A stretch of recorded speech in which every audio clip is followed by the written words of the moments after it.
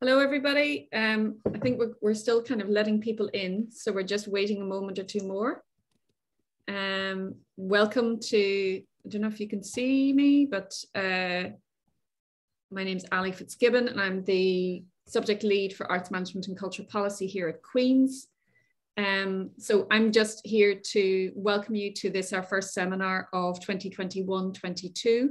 I'm going to pass you over very quickly to my colleague, Dr. Kim Marie Spence. And just to say, we have a number of seminars running this semester. Our next event is going to be on Monday, the 15th of November, um, which is our annual showcase of master's research. We also have an event on the 24th, which will take place, um, which is Tess Leminski talking about gender, ethnicity, and Irish traditional music and further events which we will be advertising. All of them are on the AEL events website and we're delighted that today's event is going to be done jointly with uh, the School of Music Events uh, or Music Events at Queen's. So it's a fantastic opportunity to look at kind of bringing the different subject areas together and hopefully having some interesting conversations. So I'm going to pass over to Kim to introduce David. Um, thank you very much. Hello, everyone. Um, thank you for joining us for the QUB AMCP series. I should also note that you can follow us on Twitter at QUB AMCP. Uh, today, we're delighted to have um, David Arditi with us. He's an associate professor of sociology and director of the Center for Theory at the University of Texas at Arlington, that's in the US. Um, his research addresses digital technology and its impact on society and culture through the perspective of music and the music industry. Um, and today he speaks to us from his latest two books, um, Streaming Culture and Getting Signed Record Contracts, Musicians and Power in Society. And we again, I must say, delighted to have him. Um, I'm Kim Marie Spence, a lecturer at AMCP. So David, the floor is yours. Thank you. Thank you very much for that introduction, Kim Marie. Um, I'm very excited to be here. Uh, let me share my screen with everybody. And uh,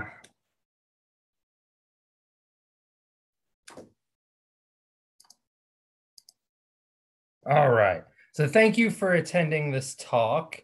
And I'd like to thank Ali Fitzgibbon for inviting me.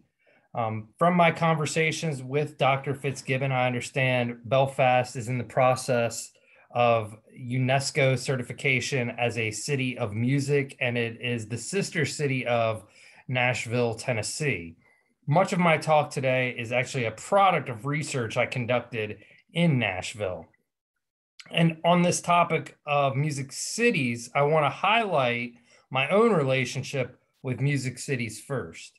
I'm coming to you from the city of Arlington, Texas. Arlington has a population of 398,000 people, roughly the size of Belfast. However, Arlington sits in the geographic center of a 6.4 million person metropolitan area known as Dallas Fort Worth, which is the uh, sec- second or third. I think it's the third largest metropolitan in the United States. It's often Arlington's often overshadowed by Dallas. It's 1.3 million person neighbor city. But Arlington is the home of stadiums and sports team uh, that often it often gets referred to as Dallas. As a result, Arlington is in a rebranding effort to be known as an entertainment capital. When Beyonce and Jay Z went on tour, they played at Arlington's AT&T Stadium. Paul McCartney has played at AT&T Stadium and Globe Life Park, which is a baseball stadium here in Arlington.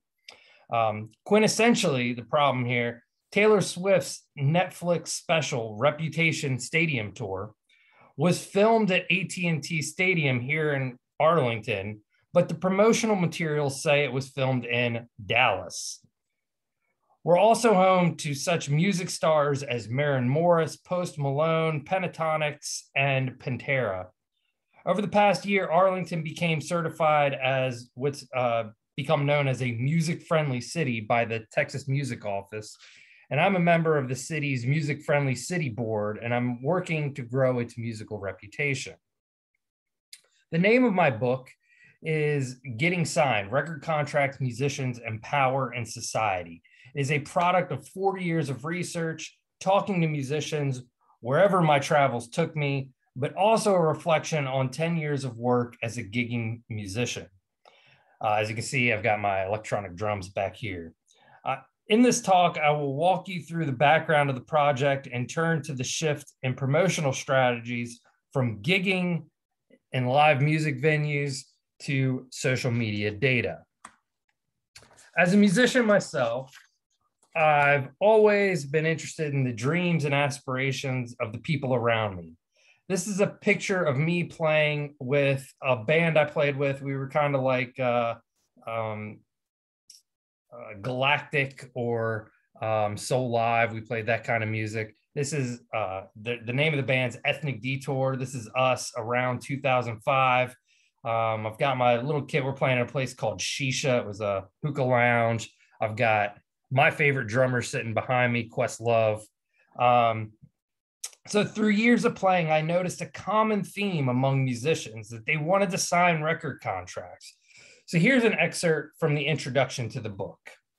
In 2004, my band Ethnic Detour, seen here, played a gig at Latitudes, which is another uh, venue. It's a small music venue at the Four Point Sheraton in Blacksburg, Virginia.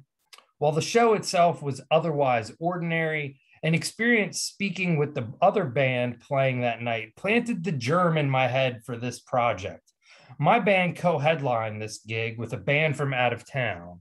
When they arrived, uh, they pulled up in a commercial van towing a trailer with their equipment, much like this picture here. This is just a generic picture. They displayed no interest in speaking with my band. As a drummer, I offered for their drummer to use my drum kit, which is a common courtesy to reduce time between acts. But he insisted on using his own kit. Of course, their band's name was plastered on his bass drum.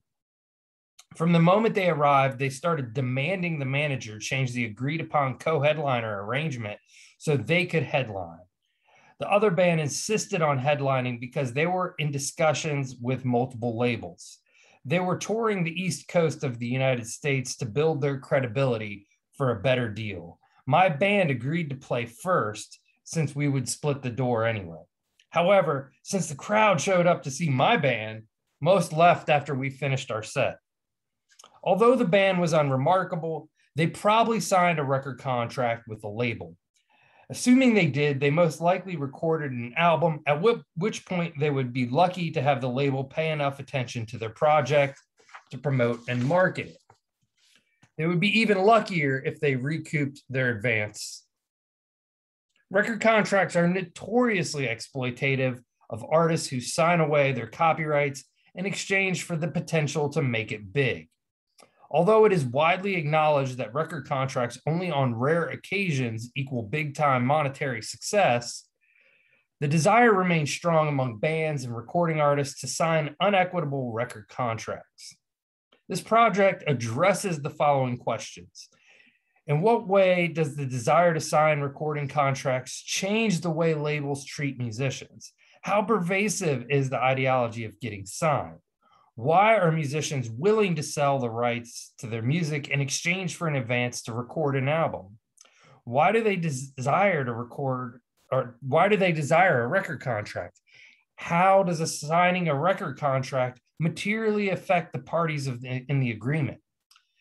This band is one example of a widespread desire in the cultural imaginary wherein a record contract signifies great achievement, whether that's celebrity, wealth, or status. So that's the end of that quote. Um, when I started the project, I wanted to understand why do musicians want to sign record contracts? I knew record contracts were exploitative, and as musicians lasted longer in the industry, their desire declined after to sign one uh, after learning the reality. As I did my research, the question didn't interest me as much as the way the desire proliferates in society more generally. So, how does the ideology of getting signed permeate society to convince musicians to sign record contracts? Getting signed explores the desire, which I call the ideology of getting signed. Regardless of genre, aspiring musicians dream of signing a record contract. While this may have different meanings across class, race, and gender lines, many musicians possess the feeling that a record contract will make them rich and famous. I call this, again, the ideology of getting signed, which is a social phenomenon that exists outside individuals and persists across time. Furthermore, the ideology exists throughout society as the major aspirational achievement that non musicians expect musicians to pursue. There is a widespread belief among non musicians and aspiring musicians that these record contracts bring incredible wealth to anyone who signs one because of the large sums of money earned by a few artists, a few that I mentioned earlier uh, when I was talking about the city of Arlington. Non musicians and musicians alike internalize the ideology of getting signed. Non musicians uh, encourage musicians to pursue these contracts, and musicians believe that record contracts will bring them wealth and fame. And this permeates uh, society, especially American society, everywhere.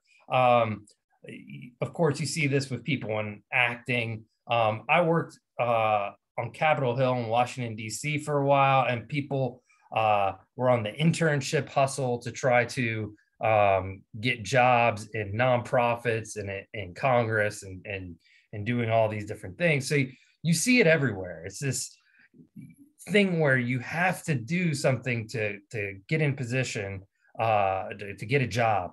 Um, and you see it everywhere. Um, so my approach uh, to analyze the ideology of getting signed, I deploy several methods, but my guiding methodology is in the critical theoretical tradition. In that tradition, I view in Timothy W. Luke's words, uh, quote, political behaviors, social forces, institutional structures, and cultural activities as densely encoded but largely decodable texts. Um, and I guess uh, I should add to this that I'm a cultural studies scholar. While I work in a sociology department, my PT, PhD is in cultural studies, um, and, and that's the tradition I tend to work in. So, as such, I use what Robert Antonio describes as immanent critique, quote, a means of detecting the societal contradictions which offer the most determinate possibilities for emancipatory change, unquote. Ideological formations present themselves as natural, but underlying this presentation lies a hidden reality that seeks to strengthen the political economic system. This is my attempt to peel back some of those layers that obscure the ideology of getting signed. The project stems partly from ethnographic observations in several settings where I was a participant observer who occasionally interviewed other participants. Over three years, I attended local shows in 20 cities, went to musicians' meetups in the Dallas Fort Worth region, sought people who have varying contacts with the rec- recording industry, and experienced the music scene in whatever city my academic and personal travels guided me to. Atlanta, Georgia, Quebec, in Montreal, eh, or, or Quebec in, in Canada, Boston, Baltimore, Philadelphia, New York, Nashville, Seattle, Austin, Texas, Dallas, Texas, Chicago, Illinois, Washington, D.C., Richmond, Virginia, and of course, Arlington, Texas, where I live, among others. Several times I attended musician showcases and competitions. These were frenzied occasions where I received a heavy dose of the ideology. But most importantly, I went to shows. That's how I do my research because I think live music is the backbone of uh, music. Um, so quite often I would just go to local, see lo- primarily local music uh, wherever I could and hang out at the bars and uh, talk to fans, talk to musicians, just do whatever I could. So record contracts are the tangible goal, but playing live is what musicians most often do. That is what being a musician is all about. So at shows, I observed the performers in the crowd, spoke to people working at the venue, the musicians, their management, and listeners. I also met with museum curators, family of signed acts, musicians themselves, label executives, venue executives, and everyone in between. These conversations ranged from brief encounters to three hour interviews. However, my ethnographic approach does not posit that research subjects provide eternal truths.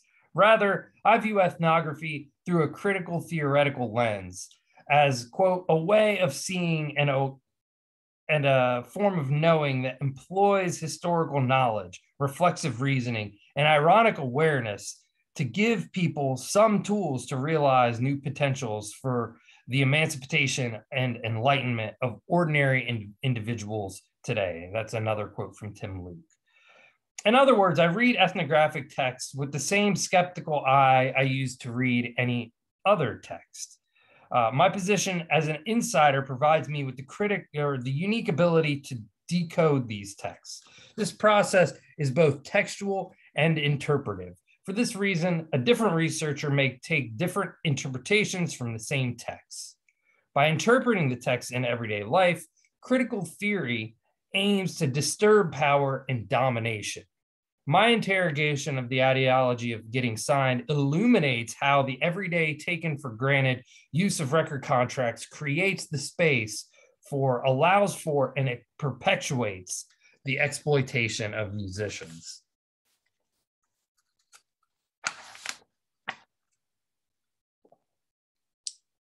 I'll briefly go over the kind of overview of the book and then I'll focus on um, a bit of chapter four. I'm going to uh, read a passage from it. So I structured getting signed in two parts. Part one emphasizes the theoretical underpinnings of the ideology of getting signed. And part two, I build my argument by presenting cases that I observed through my ethnographic work. Um, so chapter one's an introduction. Uh, I read that that's that passage from the beginning, and I and I try to define um, the ideology ideology of getting signed. But as we get into part two or part one and chapter two, uh, record contracts, ideology, and action, I look at how ideology operates in society, and I, I give my theoretical understanding of ideology. At the same time that I go into further description of how record contracts operate. Um, chapter three, uh, copyright enclosure. I describe the way that copyright acts uh, much the way that land enclosure worked in England, um, as described by Karl Marx. Uh, so it creates this kind of property, um, quote unquote, intellectual property. And that's the way, and that's the mechanism through which musicians can be exploited. Without it, I argue, it's difficult to exploit musicians because they own their own means of uh, production most often. Uh, chapter four, as I mentioned, I'm going to talk a bit about this the digital turn, music business as usual. Basic idea is people always come up to me and go, Oh, but everything's different because of uh, digital technology. When in reality, nothing's changed. People still want to sign record contracts, even when they don't uh, have to. Like Lil Nas X was huge without signing a record contract, um, but he signed it anyway, and they, you know, they gave him a few million dollars to to come on board so they could exploit him. Um, chapter five is on competition in music. And in this, I look at different ways that competition manifests itself um, from you know, my own experience starting in fifth grade playing music, you do chair tests. Uh, so who's first chair, who's second chair, and um, I also talk about battle of bands, and, and so just the way competition really is everywhere. Part two gets into those case studies. Uh, chapter six is we're getting the band back together. We're getting the band back together. Uh, comes from the popular phrase from Blues Brothers. Um, and it, it, looks at the way cohesion works in, in bands and, and the kind of forces that uh, try to rip apart a band and ultimately succeed at that. Chapter seven is an analysis of the television show The Voice. They have these brands in every country now. Um, uh, so I look at the way um, the voice sells the ideology of getting signed uh, to everybody out there. Chapter eight, Conning the Dream. I actually went to a showcase where they were doing pay to play. Um, probably the most messed up chapter of the book is chapter eight. I strongly recommend taking that up or taking a read of that because um, I had no idea people were being charged 100, I think it was $150 to go perform at this showcase. It travels around the United States. There's two arms of it. They play go to cities every every day, um, and there's nothing to win. And it, it, so I describe it as a confidence game.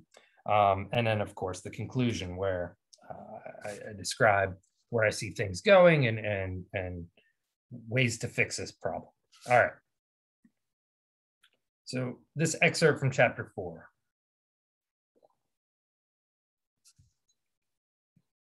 from bar gigs to social media. Even though digital technology has disrupted the music industry, it has done so only in terms of the way labels conduct business, not as a way to subvert the business itself. The utopian vision of the internet misses the point.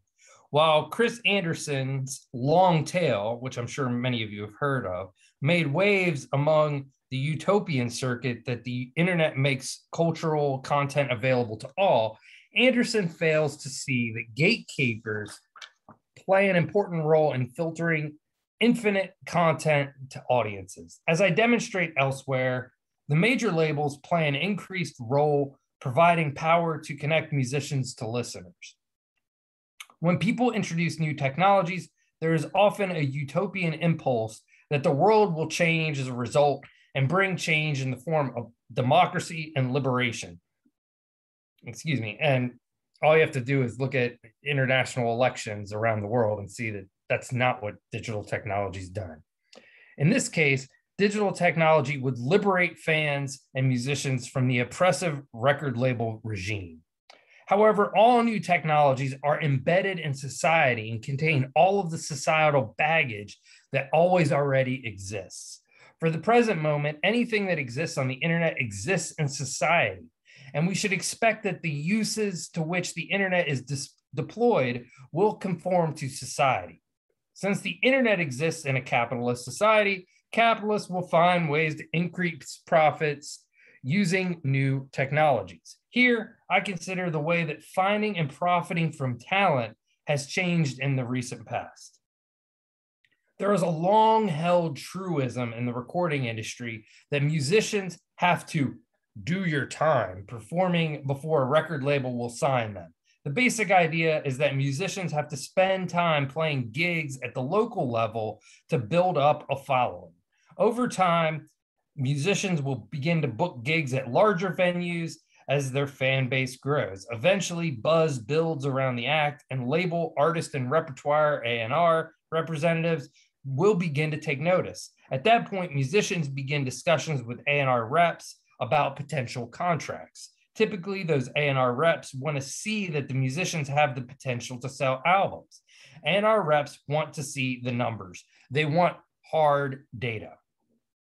Historically, the data could be any of the following attendance at shows, regional and national touring, press coverage, mailing or email lists, uh, album sales or more merchandise sales. Regional and national touring demonstrate to the label a level of commitment to in playing professionally. Uh, this is not different from the Shark Tanks on or sharks on Shark Tank ridiculing a contestant for not quitting their job. So those of in the U.S., if you're not familiar with Shark Tank, uh, they get all these uh, multi-millionaires and, and, one billionaire, Mark Cuban, who's actually from Dallas, Texas, um, and they they they're venture capitalists. They have people pitch things to them, and one of the constant refrains is, "Well, have you quit your day job?" Um, there's this expectation that people would quit their day job to pursue their dream. Meanwhile, right, uh, the the sharks, this is only part of what they do. They don't. They have their own day jobs, and they're not dedicating all their time to promoting a product. Um, so there's an irony there, and that's exactly what happens in the music industry. So the shark investors want to know The people running a business do not timidly approach their business. Likewise, labels want to see commitment from the musicians and if the musicians have day jobs. Labels cannot tell if they are 100% committed. Many musicians sell their music at shows. In hip hop, a popular expression was to sell music out the trunk of a quote of a car, or in the case of a band like Dave Matthews Band uh, from my home state, Virginia, musicians set up their own label and tour the college circuit, selling albums and creating an email list. In each case, A&R reps want to see that musicians hustle and they figure that a hustler will continue to work hard for them. In the do your time approach to record contracts, there are echoes of the Protestant work ethic described uh, by Weber in Max Weber, in which, quote, the essence of this philosophy of avarice, uh, he's talking about uh, Ben Franklin, is the idea of the duty of the individual to work toward the increase of his wealth, which is assumed to be an end in itself, unquote.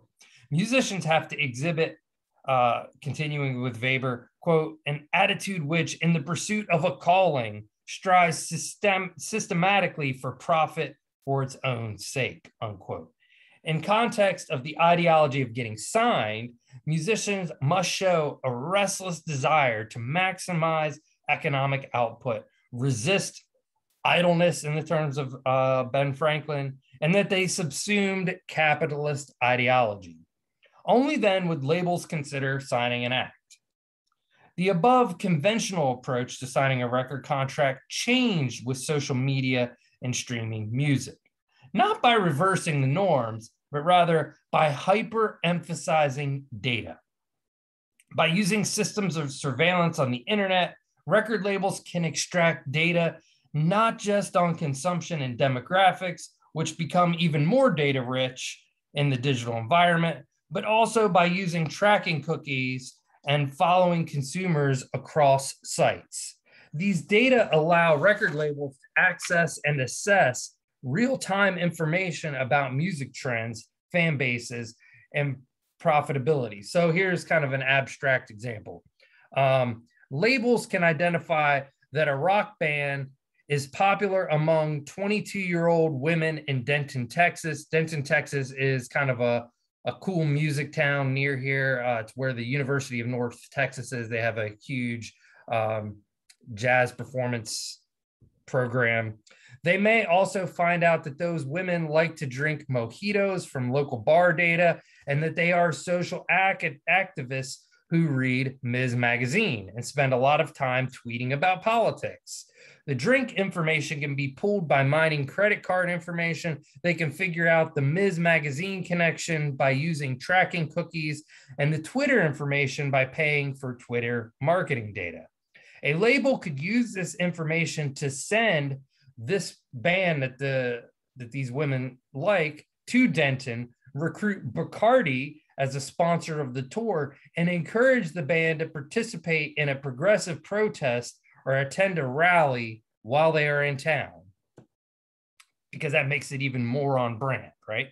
So, in order to find a band to sign, the labels uh, can use the same data to work in the opposite direction by examining geotag information about popular independent artists who are streamed in a sp- specific location. Recruiting becomes a factor of access to data instead of a gut feeling by A&R uh, reps. On, on the one hand, this disturbs the power of specific gatekeepers. On the other hand, it rationalizes the creative process by emphasizing hard data over aesthetic judgment. earlier in the book, I mentioned a conversation uh, with a with a guy I call Emmanuel. He was a booker in Nashville, um, and he booked for multiple venues. And, and, to give you kind of a context about how Nashville works, if uh, you haven't been there before, they have a million bars, and it keeps growing. Uh, so there's a road called Broadway, and on Broadway, uh, every bar has live music like all day.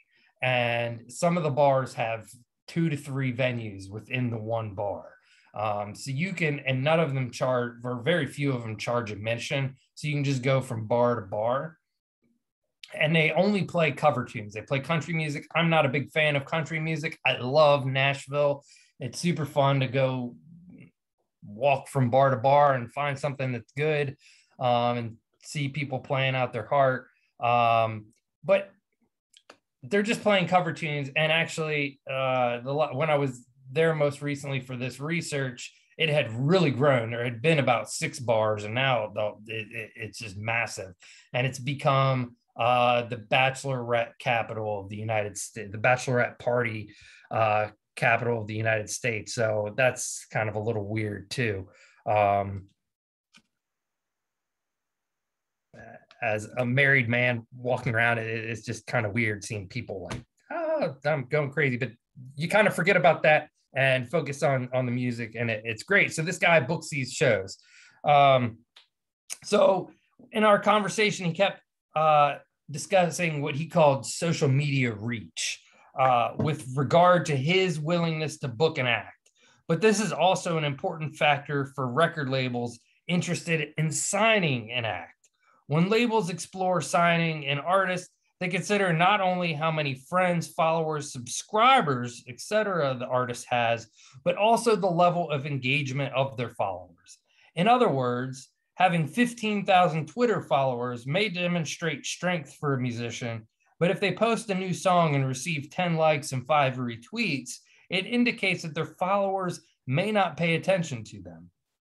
Furthermore, labels can access the number of link clicks and media engagements on Twitter, which provides even more data about the connection between the artist and their followers.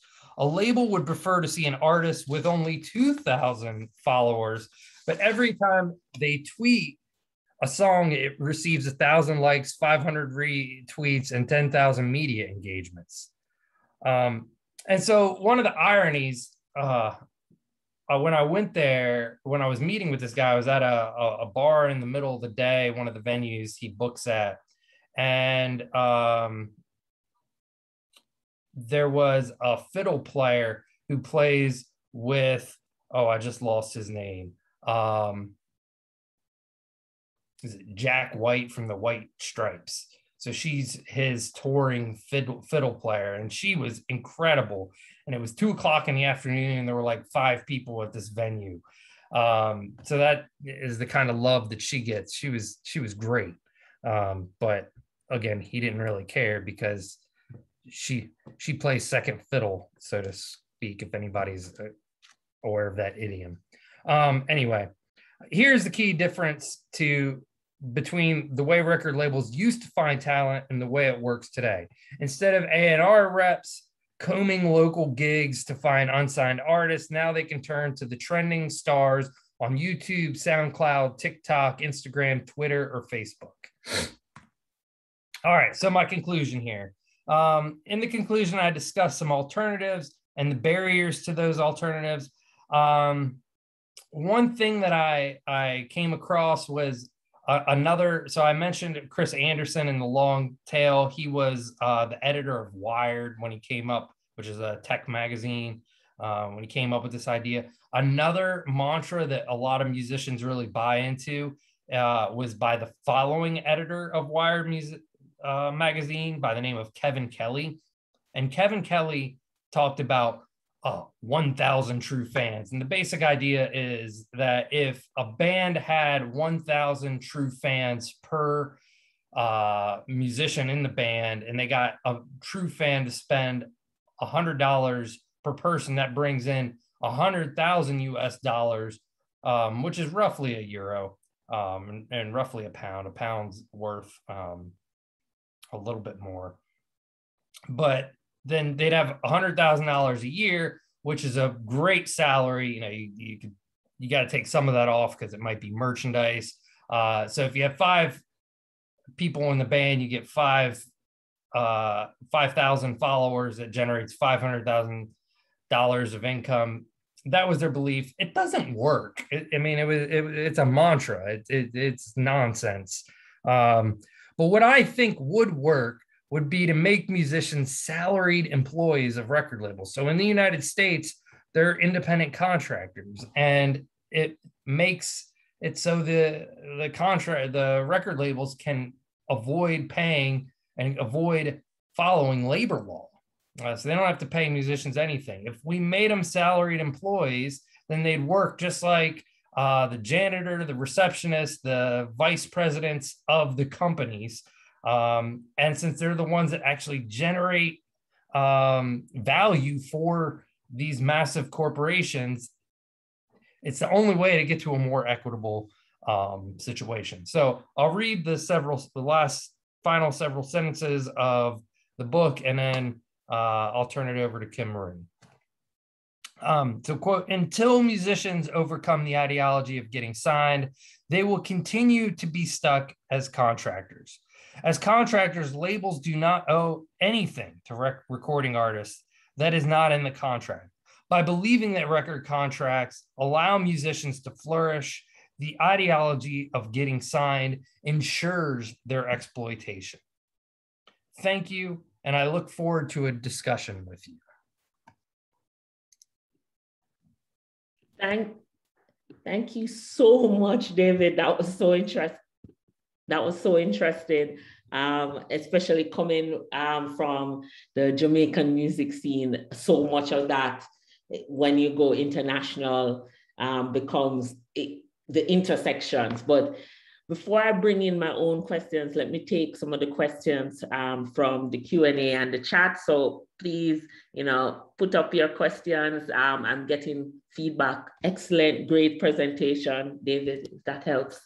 Um, one of the first questions was from Maria O'Brien, a colleague of ours um, in Dublin, that she wanted to hear more about your thoughts on a particular music argument, which is um, Taylor Swift re-recording her back catalog and what does that tell about the continued power of labels? I, did, I thought that was a great controversial um, one to start with.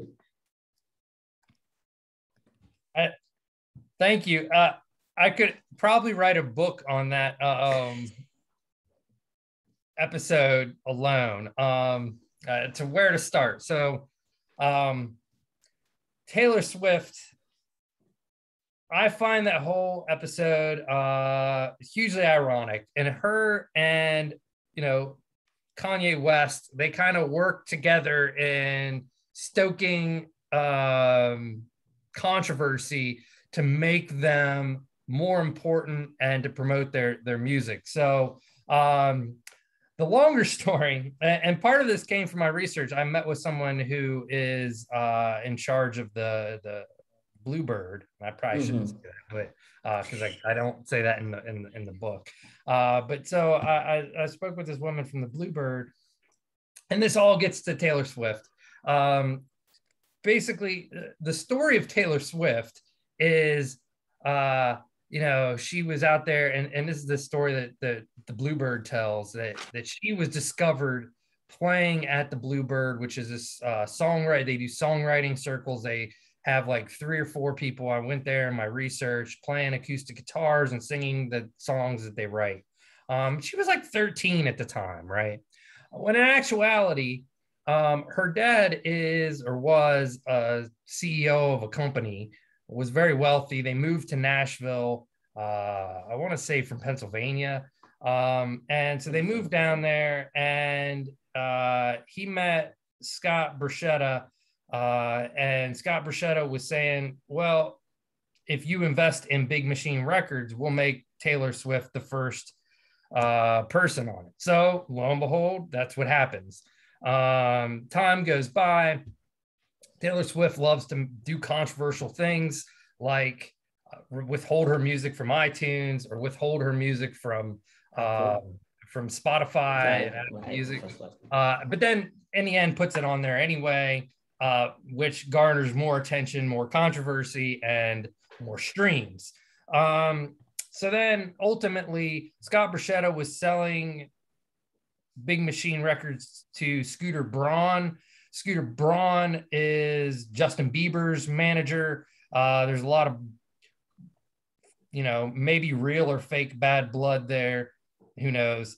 Um, and Scott Borchetta told her ahead of time, hey, this is going down.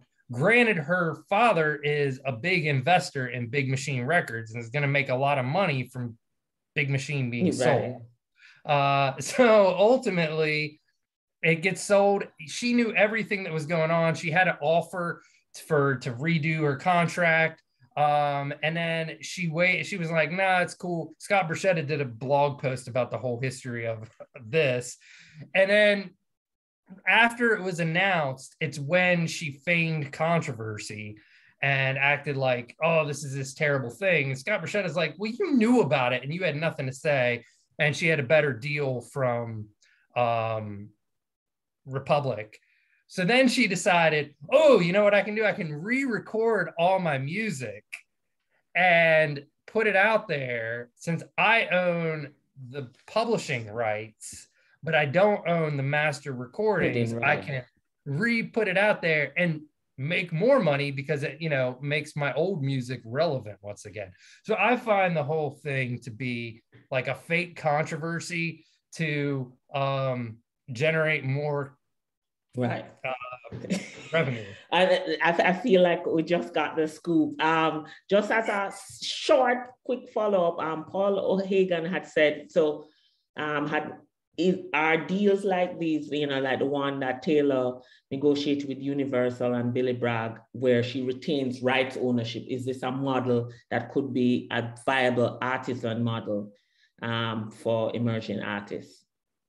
Uh, I don't think it's viable for emerging artists because I don't think they're going to do it. I think that because someone like Taylor Swift has so much uh, power um, that they only do that because that's what she, she would do to to go on. They have she has the negotiating uh, power, power. Yeah, so the power is in her. So it's a power it's a power decision rather than a livelihood issue. Uh, okay, um, lots of questions. So let me go on. Uh, Paul Stapleton um, had asked, you know, how do improvised music or other forms of music making that privilege live emergent processes over largely reproducible and recorded works fit within your theoretical arguments? I think the argument of the, the musician as employee, salary uh, I mean, people who are working uh, in a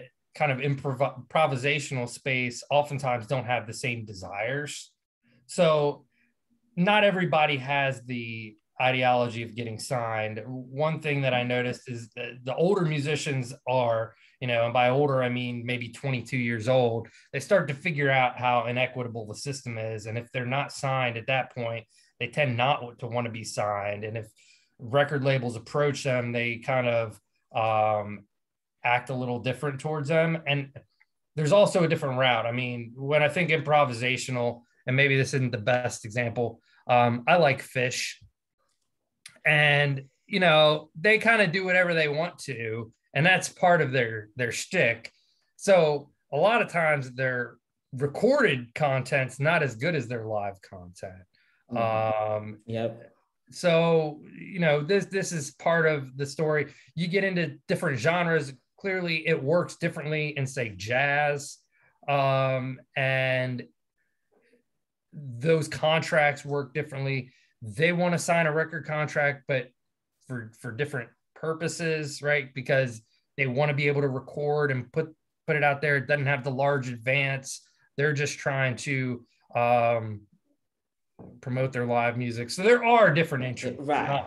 I, I, I, wanted to, before I go to the next question, just throw in here that, you know, um, one of the music scenes I study is K-pop and, you know, there because of just a very different um, in our um, talent development pipeline, the, the artists are more or less employees of the company. And what you see is the other spectrum of how badly that can go as per employees, you know, in terms of low pay versus how much is earned. So I think there also, you know, needs to be a whole notion of so what do those contracts look like? So they've had contracts over years, etc., but it's it's been exploitative employee relationship. So it, I don't, you know, I would throw it back at you that does that solve the problem? There has to be other, um, other like you know salaried employees like what you know treated under labor laws and how do we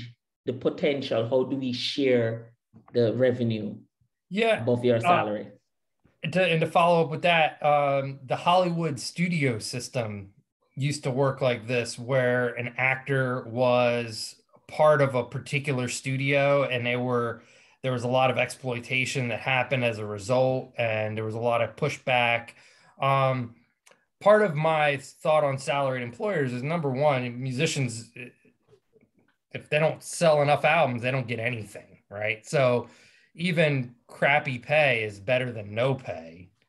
Would be kind of one point. Right. Um, it puts them in a negotiating position, but it also, uh, as a Marxist, allows them to create a uh, collective sense of workers and maybe unionize and fight back against the label to create more equitable, right? So for me, being a salaried employee is step one to becoming like a worker collective or something. Like right yeah. now, people see themselves as independent silos, so they can't break through in any kind of way. And they can't. You and, and I should note that Maria O'Brien had noted about the Hollywood, the parallel with the Hollywood studio system as well um, and I. Uh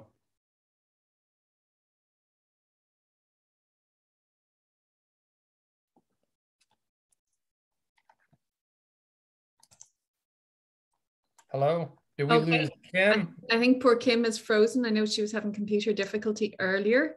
So I'm okay. just going to jump in while hopefully she gets to rejoin us. Just to kind of, I'm conscious we have 10 minutes left. So I'm just going to pick up on other questions, if you don't mind. So one of the questions that I come up in, uh, just I'm just looking at these in the kind of the sequence. Um, is have the have the record labels had their day? Are we post label with platforms like Spotify? Asks Anthony from QUB. And there's a later question I'd just like to connect to this, which is questions around the future impact of Web 3.0 um, and the new technologies, uh, non non transferable fungible NTFs. Yeah. So uh, you and that.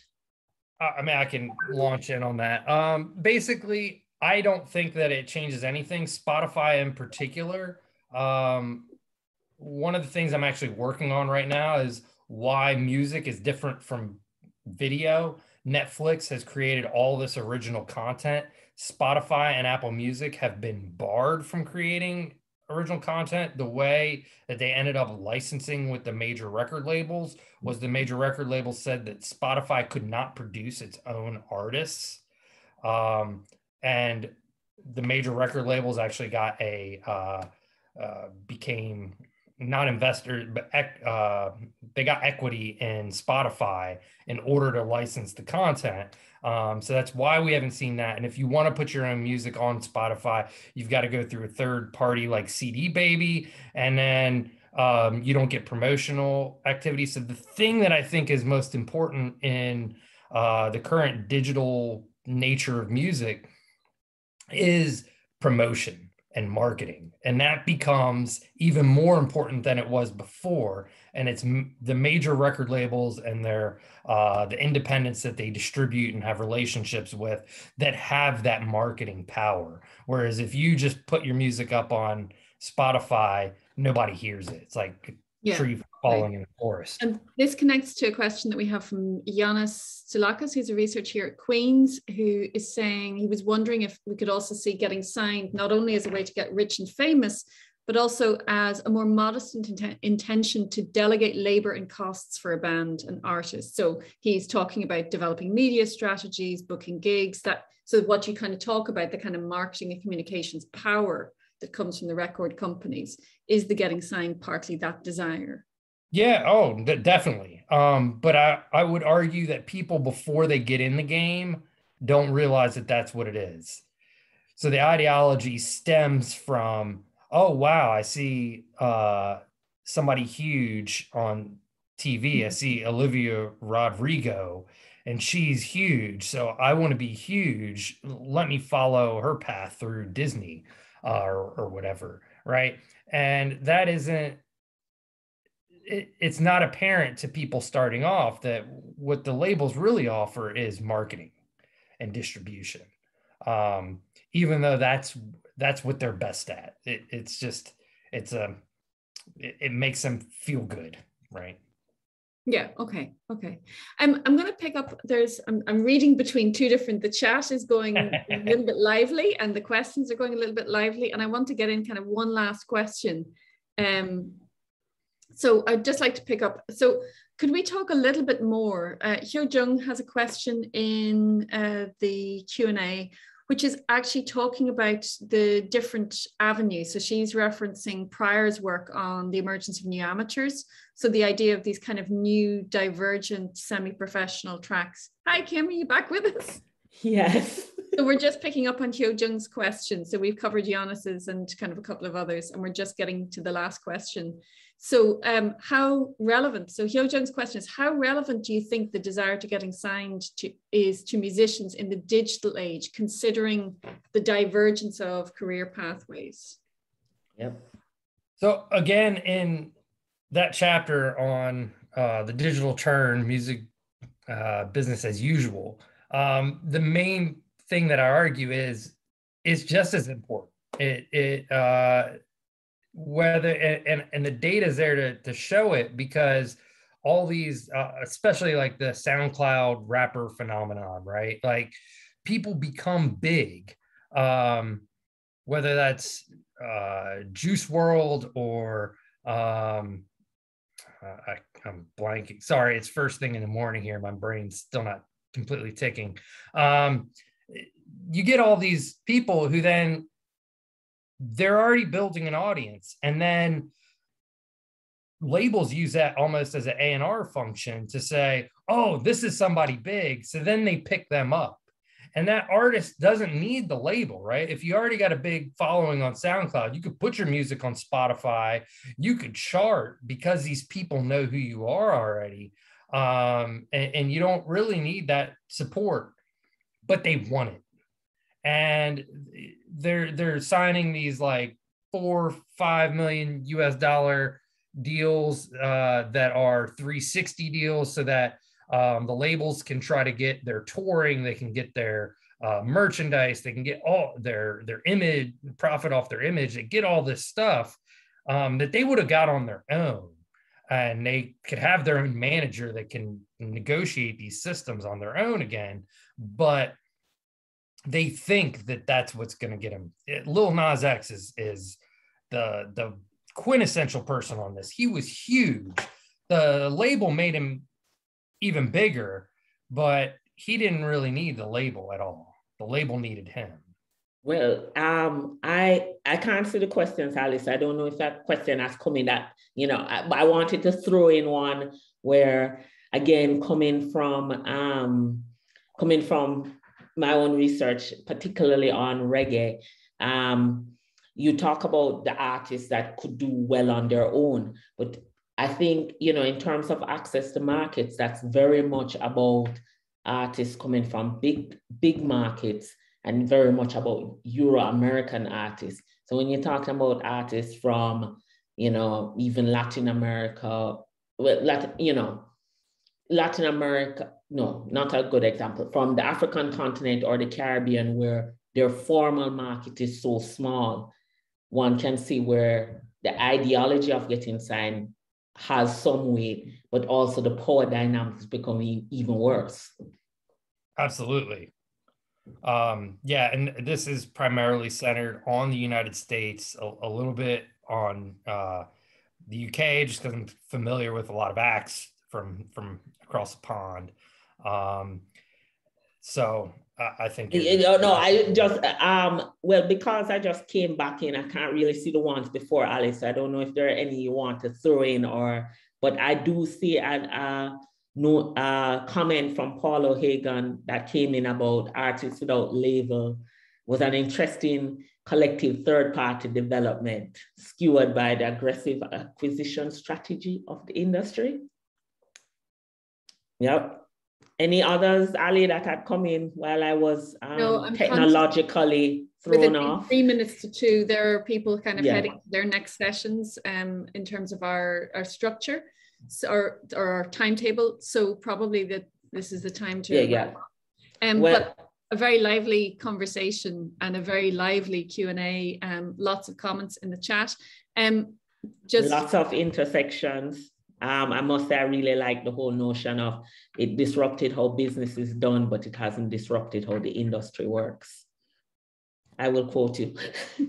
Uh, so I would I would just like to thank everybody for attending. And if we haven't got to your question, um, I, I had my email. Um, Ali and Kim both have my email address. Feel free to, to send me your email to send me your questions, and I'd love to continue a, a dialogue.